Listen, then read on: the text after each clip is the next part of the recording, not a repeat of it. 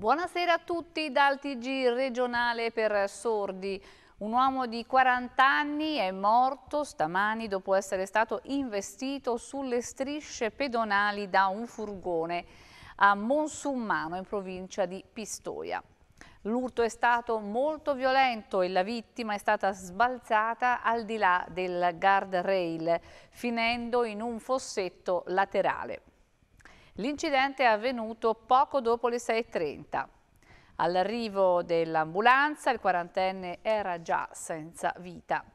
La vittima viveva vicino al luogo dove è stata investita, si stava recando alla fermata del bus per andare al lavoro in un calzatorificio. L'autista del furgone è un 59enne di Cerretto Guidi, provincia di Firenze, si è subito fermato e la dinamica dell'incidente adesso è al vaglio dei carabinieri. Invece sono andati fuori strada con la loro auto cadendo in un dirupo di ben 15 metri per poi finire contro un albero perdendo la vita una coppia di anziani, rispettivamente 80 e 85 anni nel Pistoiese per i due che non avevano fatto rientro a casa nella serata di ieri erano partite le ricerche dei vigili del fuoco del comando di Pistoia allertati dalla polizia. 30 anni di reclusione contro la pena all'ergastolo inflitta in primo grado. Così ha deciso la Corte d'Appello di Firenze per il marocchino 31enne Abdelghani Ammari, accusato di aver ucciso il 30 marzo 2017 a Prato dopo una rapina in strada Leonardo Locascio, 38 anni, portiere di notte, che stava andando al lavoro. L'omicidio avvenne nei giardini davanti al Tribunale, presso Viale della Repubblica. La vittima, 38 anni, fu colpita con un coccio di vetro per un bottino di pochi euro e un telefonino. La Corte d'Appello ha così accolto la richiesta della difesa di Ammari. Quest'ultimo venne individuato come il presunto omicida grazie alle telecamere di sorveglianza. Avrebbero scambiato video pedopornografici inneggiato, inneggiato a Hitler Mussolini e all'ISIS, postando frasi contro migranti ed ebrei su una chat di WhatsApp battezzata The Shoah Party, con la diffusione in tutta Italia di immagini e frasi davvero shock. A scambiarsi video e messaggi un gruppo di ragazzini tra i 15 e i 19 anni.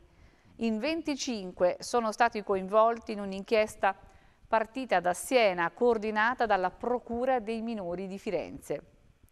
Ieri scattate perquisizioni in Toscana, ma anche Piemonte, Lazio, Campania e Calabria. Tra i minori coinvolti ci sono anche alcuni tredicenni. Essendo non imputabili per la loro età, nei loro confronti gli investigatori non hanno proceduto.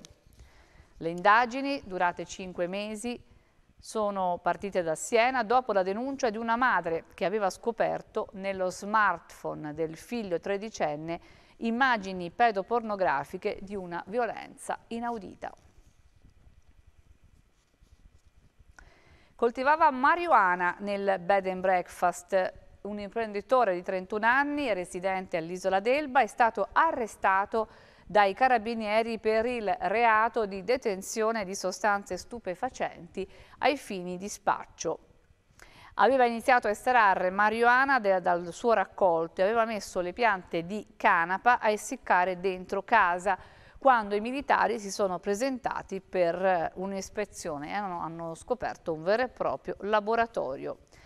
Eh, oltre 10 grammi di hashish, piante di canapa ancora eh, in fase di crescita, e poi sequestrati 3,5 kg di eh, marijuana pronta per l'uso. I carabinieri del nucleo investigativo di Firenze hanno dato esecuzione a un decreto di fermo di indiziato di delitto nei confronti di cinque appartenenti a una presunta organizzazione dedita a rapine e furti in ambito internazionale. I destinatari del provvedimento sono stati bloccati a Montecatini Terme e a Firenze.